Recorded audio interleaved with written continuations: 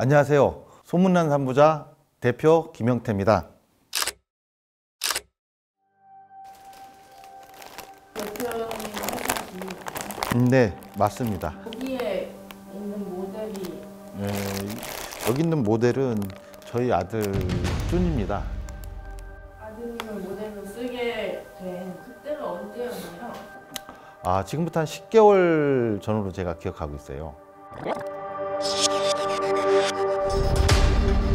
사무실에 회의하던 중에 긴 봉지에 보면은 모 개그맨도 나오고 개그맨들이 좀 대세죠. 그분들하고 그 전에 미팅을 했었어요. 아, 금액이 우리 회사의 사정상 많은 돈도 없지만 또 옆에 있던 직원이 그러면은 그 대표님의 아들을 모델로 해가지고 포장지를 제작하는 건 어떻겠냐. 아들을 걸고 만드는 제품이기 때문에 신뢰할 수도 있고 많은 장점이 있다고 판단을 했습니다. 준이는 당시 미국에서 공부하고 있는 학생이기 때문에 이 표지 모델을 하기 위해서 뭐 올 수도 없는 입장이고 근데 이제 준이가 평상시에 아빠한테 보내줬던 사진 이렇게 보다 보니까 제품하고는 비슷하게 맞는 사진이 이것밖에 없어요. 어떤 점이 마음에 드셨나요? 음, 첫 번째로는 저처럼 잘생겼고 잘생겼고 V자라든가 이 손짓 이런 게 제품에 적합하다고 판단을 했습니다. 사진을 찍어가지고 아이들한테 전송을 했어요. 전송했더니 웃더라고요. 자기도 재밌다는 생각을 했나 봐요. 근데 아빠 이거 망하면 어떻게?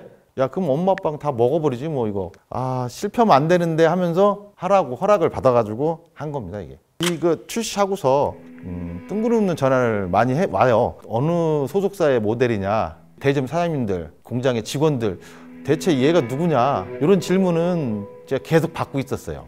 근데 이번에 인터넷에서 나온 것처럼 큰 반응을 일 거라고 생각을 못 했습니다. 그때 당시 해남에 출장 중이었거든요. 저희 직원으로부터 전화가 계속 오더라고요. 기자들이 자꾸 전화 온다고 보이스피싱 그런저런 줄 알고 이렇게 차단을 하라 이렇게 지시했는데 도착해서 보니까 실검이 그때 13위까지 올라와 있더라고요. 그때부터 정신없이 방송국 전화 오고 일반 소비자들 전화 왔고 대체 누구냐 이게 사실 맞냐 대표님 아들이냐 회장님 아들이냐. 야 이거 이런 경우가 다 있냐 뭐. 옛말로 어, 자고 일어나니까 스타가 됐다.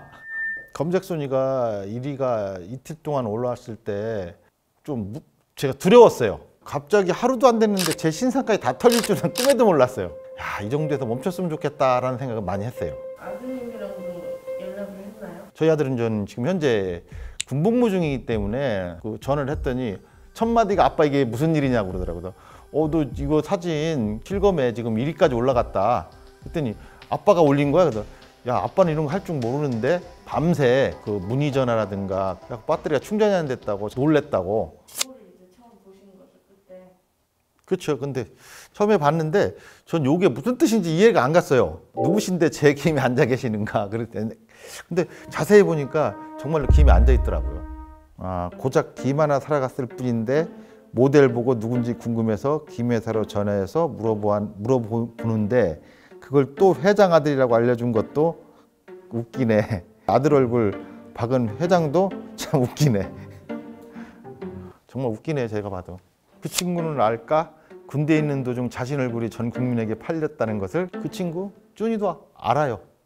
아긴 뭐 진짜 아이돌 같다. 저는 강다니엘 잘 모릅니다. 뭐 사진 보니까 빚은 한 것 같아요. 공교롭게 생년 연월일이 12월 11일이더라고요. 근데 저도 12월 10일이에요. 그리고 혈액형도 강다니엘 씨가 A형인데 저도 A형이고. 야, 이거 뭐 인연은 인연인가 보다. 와중에 쓰니 내일 깐지? 이게 무슨 뜻인지 저는 잘 모르겠네요. 저- 이게 댓글 맞죠? 네 이 글쓴이의 손에 있는 네일 아트가 간지가 난다. 이야, 이거 영어도 아니고 어떻게 해석을 해 이런 거를? 그러니까 기사를 보니까 뭐 여기 뭐 어, 회장 아들, 뭐 royal family 다 이렇게 돼 있네요. 그 royal family는 아니고 그냥 어, 평범한 중소기업의 대표입니다. 대표이고 금수저가 아니고 김수저거든요. 젊은 친구들이 김수저를 만들어 놨더라고요. 제 생각인데 김에 밥을 먹으라는 뜻으로 김수저라고 저는 해석하고 싶어요. 아드님이 회사를 물려받으시겠구나 이런 준이는 지금 현재 패션 쪽에 공부를 하고 있고 교수가 꿈이기 때문에 가는 길이 다르죠. 그러니까 회사 경영이라든가 이쪽에는 관심이 없는 건 사실인 것 같아요. 예.